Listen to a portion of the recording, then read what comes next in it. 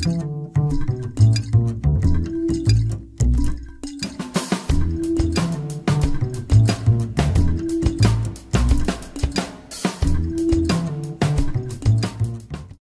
ismim Can Kahraman. Ee, az önce de söylemiştim zaten. Ee, yaklaşık iki senedir Metropolisoft'ta çalışıyorum uygulama mühendisi olarak. Hem SolidWorks alanında hem de SolidWorks'ün veri yönetim ürünlerinde e, veri yönetim ürünlerinden sorumluyum. Bu konuda işte hem tek destek hem eğitim hem de çeşitli e, tanıtımlardan diğer arkadaşlarım gibi ben de sorumluyum. Ha, üç bükümlü köşeyi gösterecektim. Onu da göstereyim. Şöyle taban flanşını yaptım. Şöyle bir durum olursa eğer buradan buradan ve buradan üç tane kenar flanşınız var diyelim ki. Daha sonra şöyle bir flanş atacaksınız sağa doğru. Şöyle. Diğer taraftan da gelecek ve aşağıdan da gelecek. Yani zaten bunlar otomatik kendini tamamlıyorlar. Şimdi bu şekilde bakın burada 3 tane büküm oluşuyor haliyle. 3 bükümün birleştiği bir nokta oluşuyor yani. Burayı da köşe kabartma komutuyla az önce 2 bükümlüsünü yapmıştık. Bu sefer 3 bükümlüsünü yapıyorum. Köşe topla deyince bakın burayı ve tabii de şurayı aynı yere olmuş oluyor. Yine buradan da e, tam tur değil de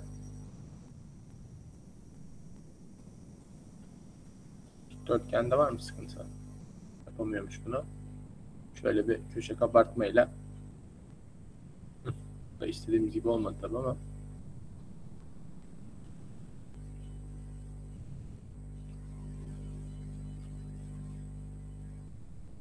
yırtık diyelim.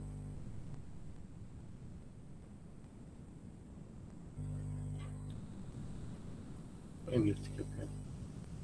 Onaylayalım. Evet, bu şekilde ancak yapabiliyor. Bu da üç köşeydi. Bir de sekme ve yuva komutu var. Bu da aslında son yıllarda gelen bir komut. Onu da göstereyim size. Bunu montaj, montajda da yapabiliyorsunuz. Normalde montajda yoktu. Daha sonra montaja da geldi bu. Diyelim ki şöyle bir parçanız var.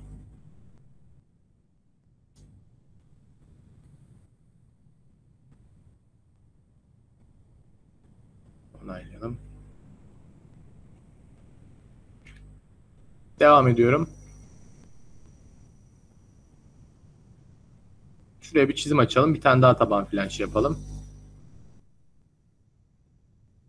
Şöyle bir şey mesela. Yani doğrultuda olsun.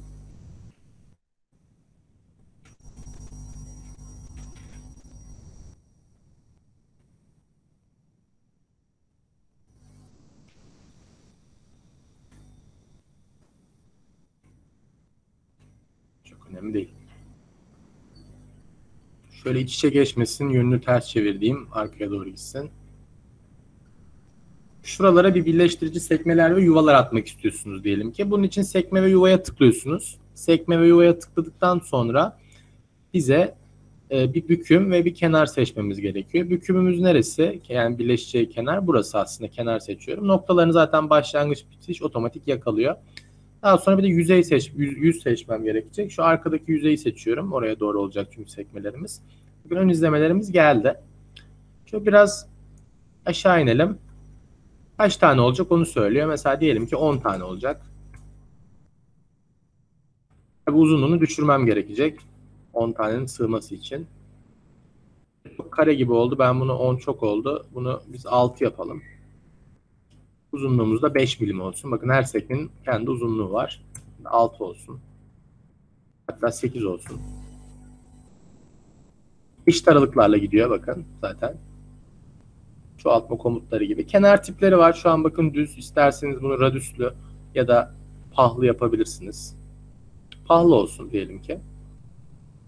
Bunlar bizim sekme ayarlarımız. Yani buradaki boşluk ayarlarımız. Bir de onlara girecek yuvalarımız var. Yuvalarımızı da buradan ayarlıyoruz. İşte şu an e, ötelemesi 0-10 yine genişlik ötelemesi. Yani şuradaki ötelemesi sonuçta iç içe geçmemeleri gerekiyor.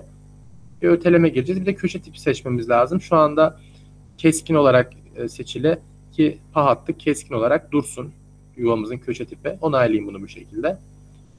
Bakın şu şekilde bize sekmeler ve yuvalar oluşturmuş oluyor ekstradan. Şöyle doğrudan düzenleme gövde taşı diyelim. Bunu birazcık sola alalım. Nasıl bir şey oluştuğunu da görmüş olalım. Bakın bu şekilde sekmeler ve yuvalar oluşturmuş olduk. İki tane sacı birleştirecek şekilde burasını uzattı. Burayı da kesmiş oldu aslında. Bunun normal boyu birazcık uzamış oldu. Bakın burası yine 202 şu anda. 200 demiştik normalde. Halbuki şuradan itibaren şurayla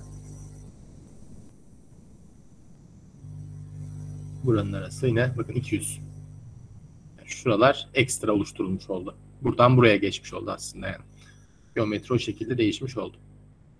Bu komut bu şekilde. Şimdi ee, loft loftla ve süpürerek sac oluşturmaya da bakalım. Şimdi loft için iki tane tabi farklı profile ihtiyacım var. Mesela şöyle bir dairesel bir şey çizdim. Şimdi sacda biliyorsunuz her zaman bir boşluk olması için kapalı kontür çizemiyorum.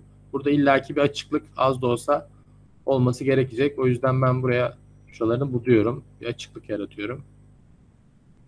Bu benim ilk profilim. Onayladım. Yeni bir düzlem oluşturacağım.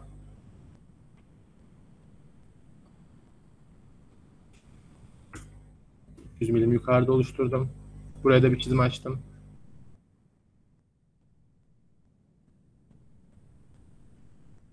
Burada 100 diyelim mesela. Yine tabi boş bırakmam gerekecek.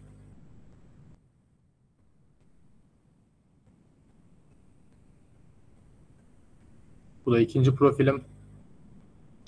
Şimdi burada sac levhadan loft ile bükme diyorum. Yine profillerimi seçiyorum. Burası ve burası bakın. Bakın şu anda bunları birleştirmiş oldu. Şimdi burada iki seçenek var üretim metodu olarak. Bir bükülü bir de şekillendirildi, şekillendirildi olarak. Şekillendirildiği seçerseniz eğer e, sanki tek bir e, böyle basit bir şekilde hani bükülmemiş, büküm izleri olmadan direkt tek şekil halinde verir size kalınlık değerini ve büküm çizgi sayısını girmeniz lazım. Kalınlık şu anda 3 olarak girilmiş. Eğer bükülü derseniz de bakın bunlar sanki böyle büküle büküle radüslü radüslü gelmiş gibi olur. Burada tabii görüntü seçeneklerinde e, farklı şeyler seçebiliyorsunuz. Mesela kiriş toleransı değeri deyip şuradaki boşluklu değerlerini ayarlıyorsunuz. Mesela 2 şöyle göstereyim size. Daha net görebilirsiniz. Yukarıdan bakalım. Mesela 2'yi 4 yaptım arasındaki boşluklar arttı. Büküm sayısına göre yapabilirsiniz. Şu anda bakın 2, 4, 6 büküm var. İşte bunu atıyorum 12 yaptığım zaman büküm sayıları artıyor. Şuradaki bakın segmentlerimiz var. Onların uzunluklarına göre yapabilirsiniz. Mesela 8, 18 yaptığım zaman şuradaki yer arasındaki uzunluğun arttığını görüyorsunuz. 2 yaptığım zaman düşüyor. Tabii bir sürü bu sefer büküm olmuş oldu. Bir de segmentlerin açılarına göre. Şunların arasındaki açılara göre. 30 olsa tam 8 gibi olacak sanırım. İşte atıyorum 90 olduğu zaman aralarındaki açıyı 90 gibi yapabiliyorsunuz. Ben burada kiliş toleransı yapıp değerimi de 8 giriyorum mesela şimdi. Yine kalınlık ve tabi burada ekstradan radius değeri de girmemiz lazım bükülü seçersek.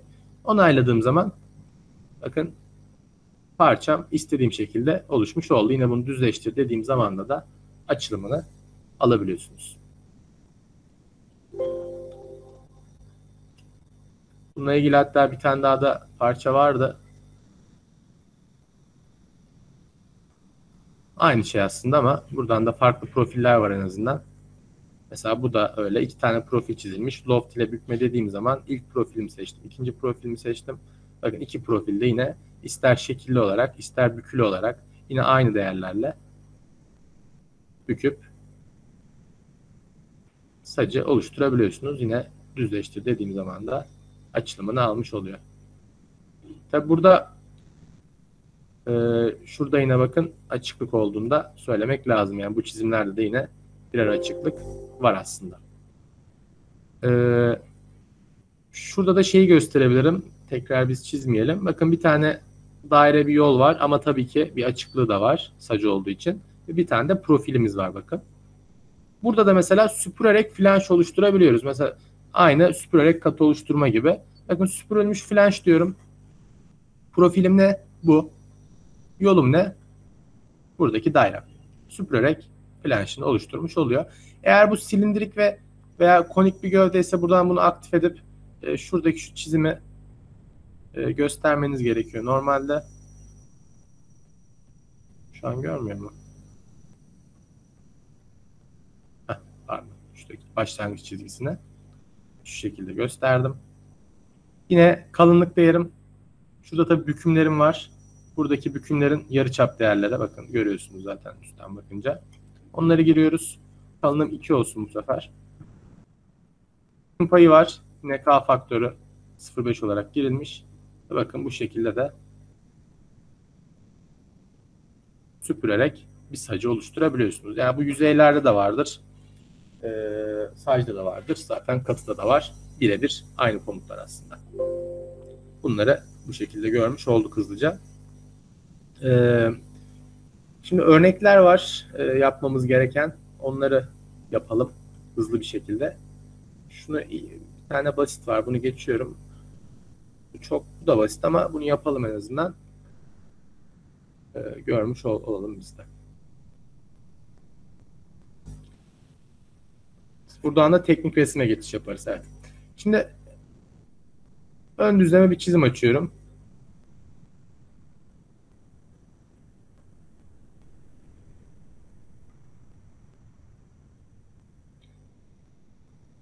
Bir dikdörtgen çizeceğim. 250'ye 100. Saç taban flanşı oluştur diyorum.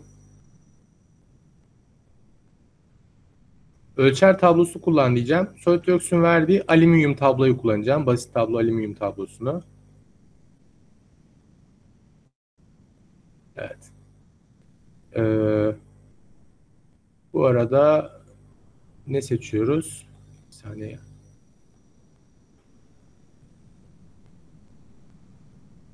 Pardon bu şöyle bir çizilmiş. Şurası olmayacak. Bu şekilde yapacağız evet. Ne ölçer tablo kullan. Alüminyum. Uzunluğumuz 75 bu arada. Buradan ölçer hangisini kullanmamızı istemiş. 18 numaralı tabloyu kullanıyoruz. Üst değerimiz 3 oluyor. Ona göre de K faktörünü kendisi ayarlıyor. Bana yırtıkı seçmemiz gerekiyor. Onayladım. Taban flanşımızı oluşturduk hızlı bir şekilde. Şimdi kenar flanşlarını oluşturacağız. 3 tane arka tarafta. Onları oluşturalım. Saç kenar flanş diyorum. Şöyle gelecek. Aşağıdan gelecek. Ve bir de buradan gelecek bakın. Bunların uzunlukları 22 milim olacak. Malzeme içeride olacak. Zaten o şekilde yapmışız şu anda.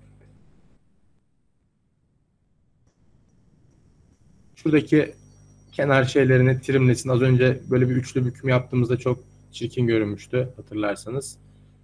E, açımız 90 ve boşluk mesafesinde birazcık azaltıp 0.25 yapıyorum şu aralarındaki boşluk mesafesini. Ve onaylıyorum. Bu şekilde onayladım. Şimdi şu anda çok daha iyi oldu en azından. Hatta gelip burada köşe kabartma yaparsam muhtemelen daha güzel sonuç alabiliyorum. Bavulda dediğim zaman mesela direkt buraları kolayca kapatabildim. Ama şu anda köşe kabartma yapmak istemiyorum. Devam edelim. Şurada bir kesim yapacağız. Şöyle bir şurasını keseceğim.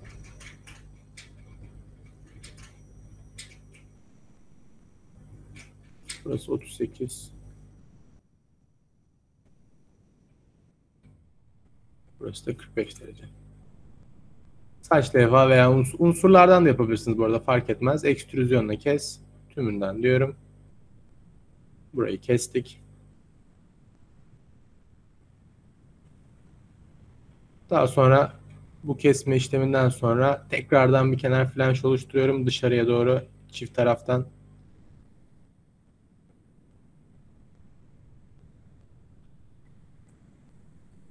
Yani yönleri farklı olduğu için ayrı ayrı yapmam gerekecek. Açısı 90 derece, uzunluğu 22 derece, 22 milim. Şu dışarıdan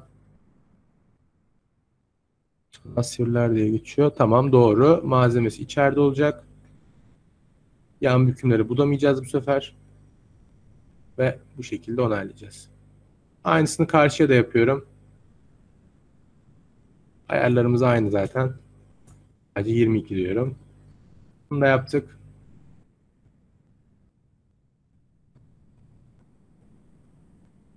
Şurada bakın bir şurayı belki bir düzeltmemiz gerekebilir. Ee,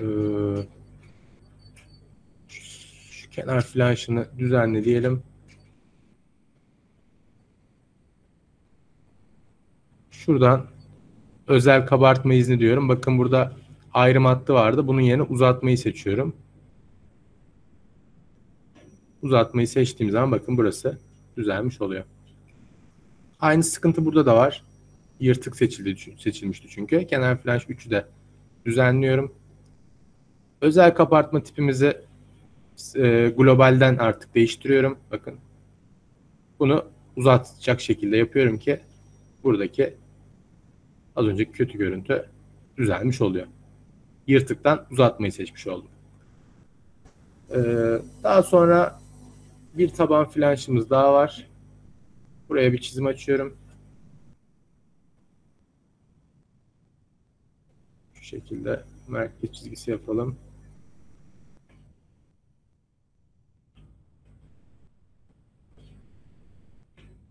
Bu iki çizgi bunun arasında simetrik olacak. Burası 100. Burası da 25. şekilde. Bunu da yine saçtan taban flanş olarak çıkaracağım. Ee, yönü ters çevirmemiz lazım. Kalınlığımızda bizim 2 miydi az önce? 1 de herhalde o zaman. Bir bakayım ona. 1.2'ymiş. O zaman bunu da 1.2 olarak girmiş oldu. Ama sanırım burada benden kapalı profil istiyor. Ben o yüzden bunu değiştirelim. Şöyle yapalım. Onaylayayım. Buradan da taban flash yine yönünü değiştirmem gerekecek. Yönü ters çevir diyorum. Ve onaylıyorum. Bu sonucu birleştir demedik sanırım. İki tane isim listesi var. Sonucu da birleştir diyelim. Evet. Şimdi böyle bir tasarım yaptık. Düzleştirdiğim zaman açılım alıyor mu bakalım. Açılım da alıyor şu anda. Herhangi bir sıkıntı yok. Bunu kaydedelim önce.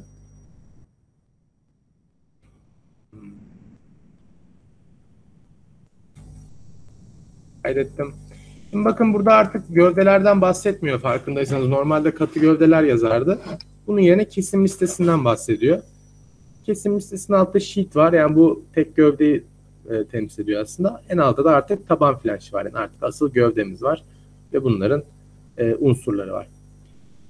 Şimdi buradan e, sheetlere sağ tıklayıp özellikler dediğim zaman bakın ben sac oluşturdukça özel özelliklerinin buradan dolduğunu görmüş oluyorum. Burada bakın sınırlandırıcı kutusu işte hani aç, açılımının e, genişlik, uzunluk değerlikleri, kalınlık değerlikleri, alanı, e, işte biraz aşağı indiğimizde işte kütlesi, malzemesi hepsi kesme listesi özetinde var. Bakın bu şekilde. Şimdi ben buradan bir teknik resim almak istiyorum. Teknik resim oluştur diyorum. A3 kağıdımızda teknik resim oluşturuyorum.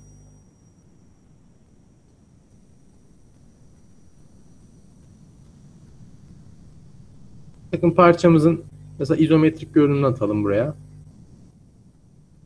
Şöyle şuradan kenarlıklı olarak atıyorum. Bakın burada bütün görünümleri var. Bir de ekstradan düz çoğaltma görünümü var. Bu da farklı bir e, görünüm olarak saclarda geliyor. Direkt hani açılım hali. E, ben buna tıklayayım. Şuradan döndürelim bunu. 270 derece döndür diyelim görüntüye. Şöyle eklemiş olalım. Bakın burada yarı çap değerleri, e, işte büküm açı, büküm açısı, ne tarafa doğru bükülmüş, bu tarz bilgiler var. Ekstradan detaylandırma kısmından tablolardan bir büküm tablosu alırsanız tıkladım açılımına büküm tablosu tıkladıktan sonra bakın standart e, şablonum geliyor. İşte ABC mi olsun etiket şuradaki etiketlerin 1 2 3 mü olsun onu belirliyorum. ABC olsun diyorum. Ve onaylıyorum büküm tablomu. Bakın buradaki değerleri buraya büküm tablosu olarak ekletebiliyorum. İşte radüsler, açılar ve ne tarafa doğru büküldü. Burada da bunlara oradaki harfler buraya gelmiş oldu. İstersen buraya tabi yeni üstünde ekleyebilirim. Farklı bir bilgi yazmak istersem. Buradan e, belki bir profil kesme listesi de alabilirim bu parçadan.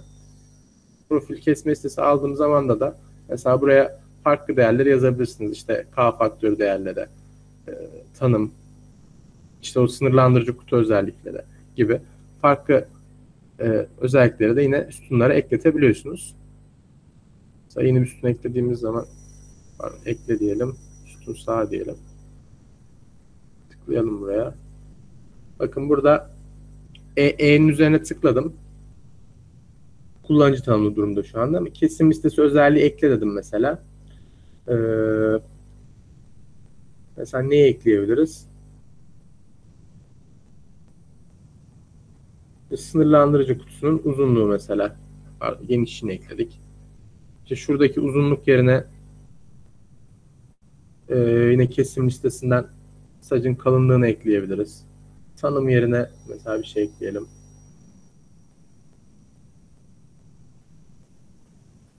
Bükümler 7 büküm toplam büküm sayısıymış. Bu büküm iznini belki ekleyebiliriz. Yani K faktör aslında. Bunu sonra tabii değiştirebiliriz. Böyle, tabloları da bu arada şu şekilde kaydediyoruz. Mesela siz böyle bir tablo aldınız. İşte burada sınırlandırıcı kutusunun genişliği, saç levhanın kalınlığı, büküm izni var. Yani şu aslında K faktördür. Faktörü olarak yazdınız bunu. İşte kalınlık, saç levha kalın değil de sadece kalınlık yazsın istiyorsunuz mesela. Şuna çok gerek yok aslında bence.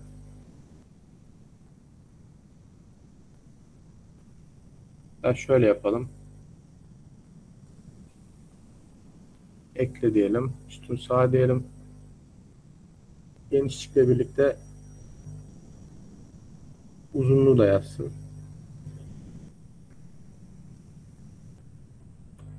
İşte uzunluk dediniz bunun ismi sadece.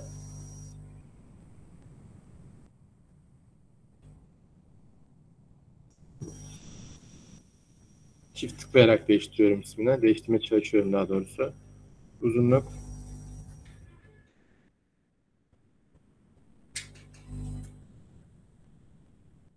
Bu anda genişlik dedim. Şöyle bir tablo. Aslında biz bu tablonu istiyoruz sürekli diyelim ki. Ee, bunu kaydedebiliyorsunuz bu tabloyu. Şunu şu aşağı alayım. Bunu yukarı alalım. Nasıl biz teknik resimde parçada bir değişiklik yaptığımızda şablon olarak kaydediyorsak eğer burada da aynı şekilde mesela buraya sağ tıklıyorum tablonun üzerine. Farklı kaydet diyorum. Şablon çıktı zaten bakın. Ee, işte özel saç kesme listesi şablonum diye kaydettim bunu. Şablonu da sildim. Daha sonra tablolar. Şurada aslında şablonların nerede olduğuna yine buradan bakabiliriz ama bu zaten otomatik algılayacaktır. Tekrardan mesela bir profil kesme listesi aldım bundan. Şu an bakın kat list görüyor e, tablo şablon olarak. Bunu değiştirmemiz gerekiyor bizim. Yanındaki yıldıza tıkladım. Şablonlarımız buradaymış bu arada. Direkt buraya da atabilirdim. Ben masa üstünden eğitim içine mi atmıştım? Evet buraya atmışım. Bunu seçiyorum bakın. Tamam diyorum. Direkt benim hazırladığım şablon otomatik olarak geliyor. Bu şekilde. Hatta onu yıldızlayabiliyorduk sanırım. Profil kesme listesi diyelim tekrar. Ee, zaten evet bir sonrakinde o geliyor zaten. Ya da direkt o konuma da atabilirsiniz o şablonu. Ya da direkt üstüne de kaydedebilirsiniz mesela. Nasıl her türlü ayarlar, teknik resim, parça, montaj oluyorsa aynı şekilde tablolarınızı böyle bir kere oluşturduktan sonra ki bu tablo özel değil, bütün tablolar için geçerli. Malzeme listesi de olabilir. Böyle sağ tıklayıp farklı kaydet derseniz o tabloyu ve şablon olarak kaydettiğiniz zaman sürekli böyle buradaki satırlarla ve sütunlarla uğraşmak zorunda kalmazsınız. Ee, genel olarak hani tek resme bu şekilde yani izometrik görünümünü koyduk, açılımını koyduk. İşte ne kadar dereceli nerelere bükülmüş bir büküm tablosu oluşturduk. Kesmelisi tablosunda hem sınırlandırıcı kutusunun açılımının boyunu ve uzunluğunu, şey boyunu ve enini girmiş olduk. K faktörüne girdik, tablo hazırladık. Teknik resimde şöyle bir şey de yapabilirsiniz.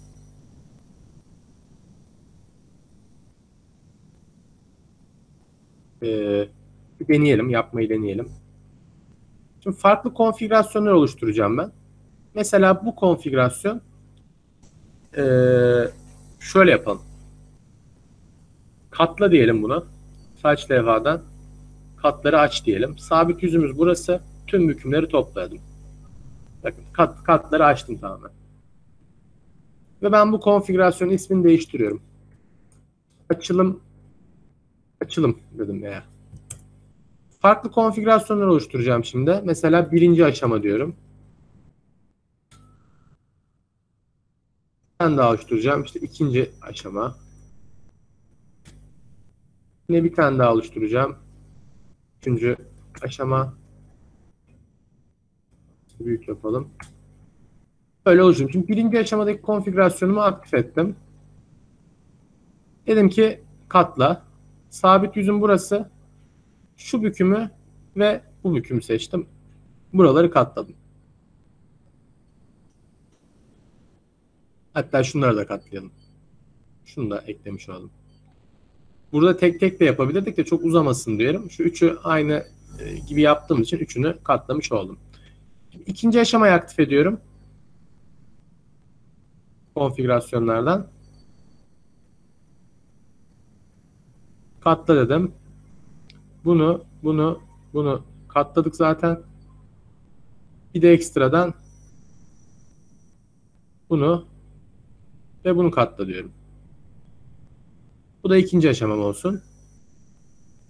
Üçüncü aşamam ise hepsinin katlanması zaten. Ee, katla deyip direkt tüm bükümleri topla diyorum. Bakın açılımı birinci aşaması ikinci aşaması ve üçüncü aşaması. Şimdi bunu kaydedelim. Ve bir teknik resim oluşturalım tekrardan. Haza A3 kağıdı evet. Şimdi ben izometrik görünümünü koydum buraya parçanın. Bir de not ekliyorum üstüne. Parçanın. Şu parça bir kere tıkladım. Üstüne bir tane not ekliyorum. Notta da nasıl yapıyorduk? Dün görmüştük teknik resimde ilişki vermeyi. Modelden alsın diyorum. Özellik ismine de konfigürasyon ismi diyorum bakın. Konfigürasyon ismi olsun diyorum. Bu şekilde onayladım. Şimdi tabii üçüncü aşamaydı bugün konfigürasyon ismi. Üzerine bir kere tıkladım. Şu üçüncü bakın burada referans konfigürasyonu var. Bunları buradan değiştirebiliyorduk. Ben bunu açılım olarak düzenledim. Şimdi burada bu 1 bölü 2 ölçekte ben bunun ölçeğini 1 bölü 3 yapalım biz. Biraz daha bir küçülsün. Bu şekilde. Daha sonra bunu kopyaladım. Ctrl C ile yapıştırdım tekrardan. Bir tane buraya ekledim. Bir tane buraya ekledim. Bir tane de buraya ekledim.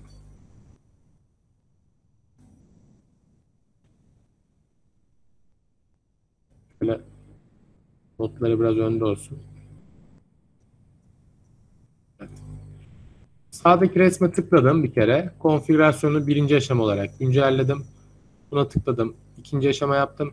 Buna tıkladım. Üçüncü aşama yaptım. Ne yapmış olduk mesela? Büküm aşamalarını teknik resimde göstermiş olduk. Konfigürasyonlar sayesinde katları aç ve katlı komutuyla birlikte. Böyle bir şey de belki yapılabilir. Kapatıyorum burayı. Kaydetsek olurdu aslında ama kaydetmedik. Neyse.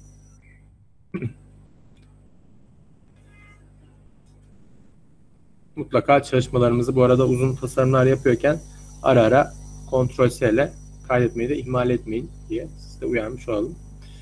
Ee, çok bir tane örneğim var. Yine onu yapmak istiyorum. Devam edelim onunla.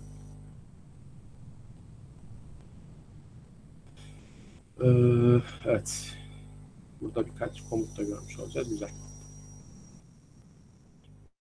Parçayı açtım. Parça kısmını açtım.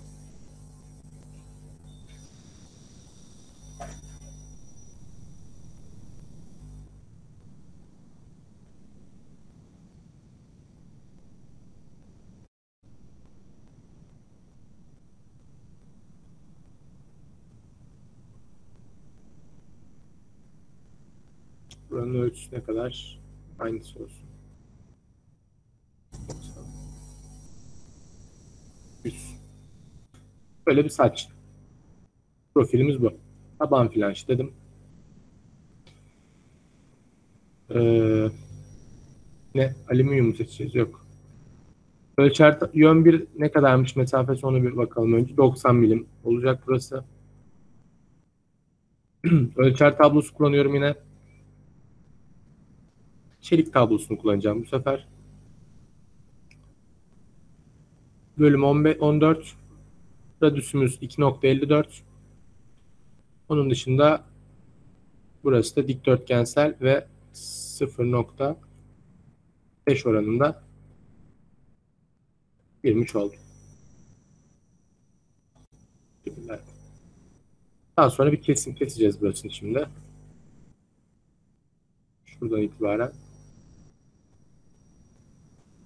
Tamamını kesiyorum. Burası 75. Unsurlar ekstrüzyonunu kes. Tümünden dedim. Burasını kestim. Şimdi buradan bir kenar flanşı oluşturacağım. Saç levha. Kenar flanşı diyorum. Şu şekilde. E, burası 50 milim olacak. Ee, malzeme dışarıda olacak.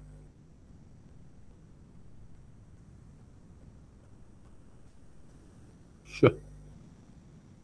Evet. Ee, yan bükümleri budamasına gerek yok. Tamam. Şöyle çizdik. Şimdi buraya bir çizim açıyorum.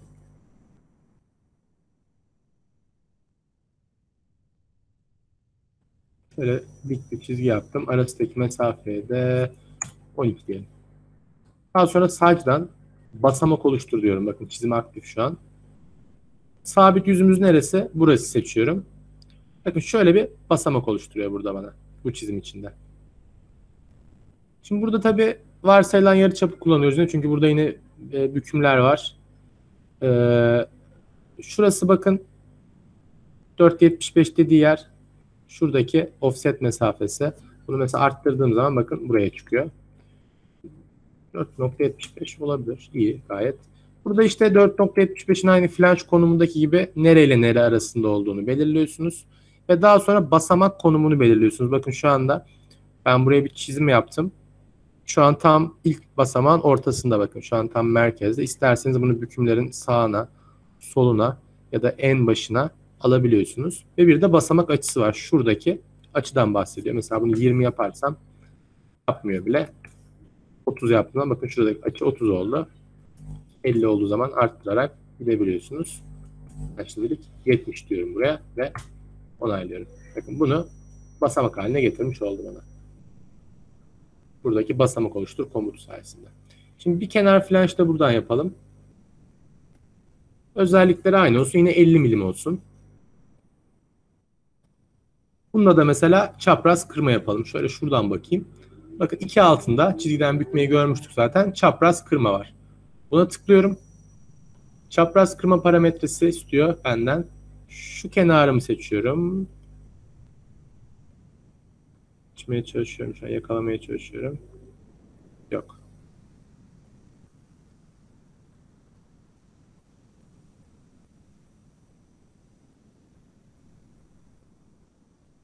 Evet, şu an tıklayamadım o kenara.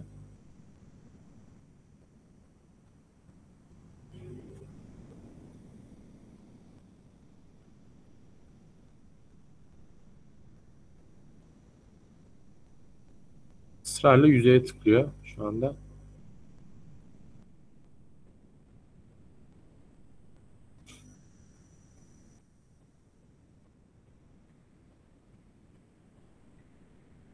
Filtre de açık aslında.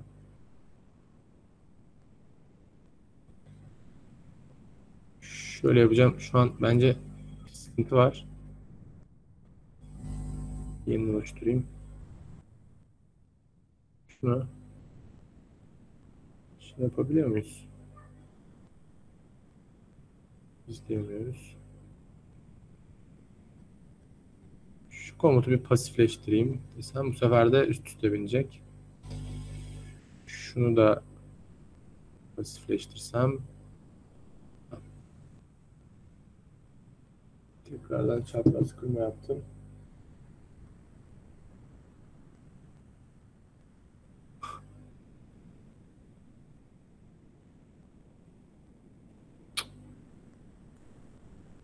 Bir saniye.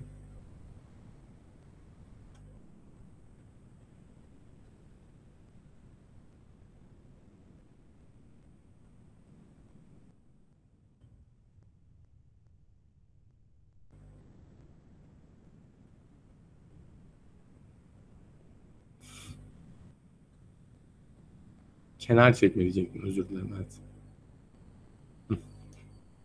Şunları tekrar aktif edeyim. Seçebilirim. Ben yanlış komuttaymışım. Kenar çekme yapacağız buraya. Biraz İngilizce alıştığımız için. Şimdi kenar çekme komutumuzun ismi. Şu kenara tıklıyorum. Yakalayabildim. Bakın bunu da bu şekilde kıvırmış oluyor. Yine burada e, dışa büküm mü, dıştan mı bükecek yani şu en dıştan başlayacak hani iç kısımda mı kalacak? Bunu seçmeniz gerekiyor. İşte burada e, kırmaların tipleri var. İşte böyle sıfıra sıfıra yakın böyle e, bunun ismi neydi? Kapalı, işte açık, e, böyle yırtık bir şekilde ya da eğimli, teğet bir şekilde. Ben burada hangisini istiyoruz? Ona bakalım hemen. Hmm, açık olacak. Malzeme de içeride olacak. Açık dedim. 9.5'a 0.75. 9.5 dediği uzunluğu. Şuradaki uzunluğu. Bakın buradan artıyor. 0.75 de şuradaki boşluk mesafesi. Yani şunu 3 yaparsam mesela bakın boşluk mesafesi artıyor. 0.75 yapıyorum. Yine burada biliyorsunuz e, köşe kabartmada ki problemden dolayı yırtık tipini ayrı maddeli uzatma olarak değiştirebiliyorsunuz. Şuradaki şuradaki tipi ki şu anda gerek yok. Şu an gayet düzgün görünüyor. Bu şekilde onayladığım zaman şöyle bir şey yapmış olabiliyoruz mesela. Şimdi buradan sonra mesela e, şunu yapabiliriz. Şurada köşeler var. Şu köşelere köşe kapartma yapabiliriz. Bütün köşeleri topla diyorum. Bu iki köşeyi buldu. E, buradan yine biz sabit genişlik diyelim. Onaylayalım. Köşeleri düzeltelim. Ve açılım artık alabiliriz. Düzleştir diyorum. Ve açılımını parçanın almış oldum. Bu şekilde. Daha sonra yine sağ tıklayıp zaten DXF, DVG'ye ver istediğimiz şekilde kaydedebiliyorduk. Buradan yüzler değil sacı seçmemiz lazım. İşte büküm çizgileri. Sınırlandırıcı kutuda gelsin de dediğim zaman sacı halini burada görebiliyoruz. Şurada sınırlandırıcı kutusu geldi de ekstrada. Buradan objeleri kaldır deyip bunları kaldırabiliyorsunuz bu arada. Hani ekstra bir şey istiyorsanız eğer tıklayıp objeleri kaldır deyip mesela vazgeçtiniz sınırlanıcı kutudan. Tıklayıp objeleri kaldır diyebiliyorsunuz. Bu şekilde. Da. Kaydet deyince de kaydediyor zaten bahsettiğimiz konuma.